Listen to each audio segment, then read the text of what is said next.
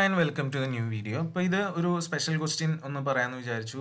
Mesh analysis തന്നെയാണ്. ഞാൻ ചില കേസ് പറഞ്ഞ മെഷ് അനാലിസിസ് ചെയ്യുമ്പോൾ കറണ്ട് സോഴ്സ് വന്നാൽ ചെയ്യാൻ നിൽക്കേണ്ടെന്നൊക്കെ ചില അതായത് നിങ്ങളുടെ സിലബസ് പ്രകാരം നമുക്ക് സൂപ്പർ മെഷ് അനാലിസിസ് ഇല്ലാത്തതുകൊണ്ടാണ് അതല്ലാണ്ട് ചെയ്യാൻ പറ്റുന്ന ചില പ്രോബ്ലം ചിലപ്പോൾ ഉണ്ടാവും. അതായത് കറണ്ട് സോഴ്സ് പുറത്തായിട്ട് ഇപ്പോൾ ഈ ഒരു കേസിലെ പോലെ find the current through two ohm resistor ആണ് ചോദിച്ചിട്ടുള്ളത്. ഇവിടെ കാണുകയാണെങ്കിൽ നമുക്ക് മൂന്ന് മെഷൊക്കെ ഉള്ള പോലെയൊക്കെ തോന്നും. നമ്മൾ അങ്ങനെ മൂന്ന് മെഷിന് ഇക്വേഷൻ ഒക്കെ എഴുതാൻ കറണ്ട് സോഴ്സ് വെച്ച് ഇക്വേഷൻ എഴുതാൻ അറിയില്ല.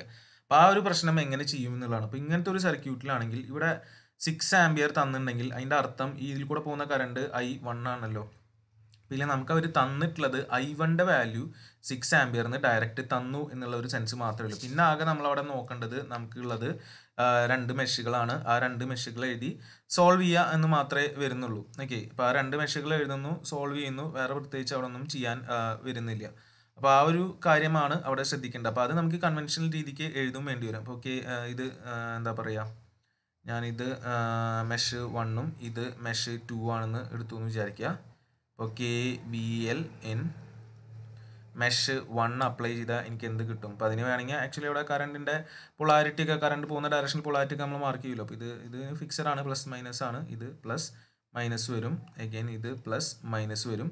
അപ്പോൾ ആ രീതിക്ക് നമ്മളിവിടെ എഴുതുമ്പോൾ എന്ത് വരും? തേർട്ടി സിക്സ് അല്ലേ? Thirty six minus minus twelve into current എങ്ങനെ എടുക്കണം?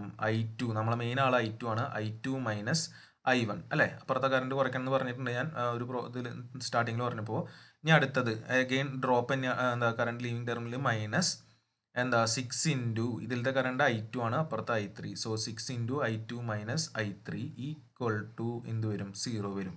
അപ്പോൾ അതൊന്ന് നമുക്ക് സിംപ്ലിഫൈ ചെയ്ത് കഴിഞ്ഞാൽ ഐ വണ്ടെ വാല്യൂ സിക്സ് ഇട്ട് കൊടുക്കാം. അത് ചെയ്ത് സിംപ്ലിഫൈ ചെയ്ത് കഴിഞ്ഞാൽ ഇതിന്റെ അത് കിട്ടുക?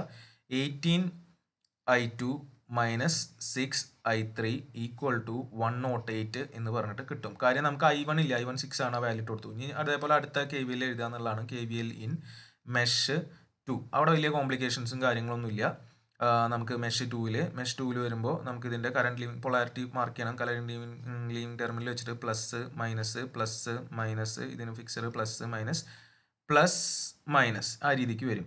അപ്പോൾ അത് വെച്ചിട്ട് നമുക്ക് അവിടെ ഇക്വേഷൻ എഴുതാണെങ്കിൽ എന്ത് വരും? അപ്പോൾ സിക്സിന്റെ അവിടെ നിന്ന് തുടങ്ങാൻ വേണമെങ്കിൽ മൈനസ് സിക്സ് ഇന്റു എന്ത് വരും? ഐ ത്രീ ആണ് importance I three minus I two വരും. Minus three into I three minus again two into I three minus nine equal to zero അതിനൊന്ന് സിംപ്ലിഫൈ ചെയ്താൽ എനിക്ക് six I two minus eleven I three equal to zero കിട്ടും. എനിക്കിവിടെ രണ്ട് equations ഉണ്ട്. Let it be one and let this be two ഇപ്പോൾ solve ചെയ്യുക രണ്ട് ഇക്വേഷനും കാൽക്കുലേറ്ററിൽ ഇക്വേഷൻ അടിക്കുന്നു. Solving equations one and two രണ്ടും സോൾവ് ചെയ്ത് കഴിഞ്ഞാൽ എനിക്ക് എന്ത് കിട്ടും ഐ ത്രീയുടെയും ഐ ടുവിന്റെയും വാല്യൂ കിട്ടും. ഐ ത്രീ ഈക്വൽ ടു എനിക്ക് കിട്ടുക ത്രീ ആംബിയർ എന്നാണ് കിട്ടുക. ക്വസ്റ്റിനിൽ ടു ഓമിലത്തെയാണ് ചോദിച്ചിട്ടുള്ളത്. അപ്പോൾ അത് ഐ ത്രീ ആണ്. അപ്പോൾ അത് ജസ്റ്റ് വേറെ ഐ ടു മറ്റേത് കാണണമെന്നില്ല ഐ ടു ഓം നേരെ കിട്ടും. ഇതൊരു സ്പെഷ്യൽ കേസ് ആയതുകൊണ്ട് പറഞ്ഞു എന്ന് മാത്രം.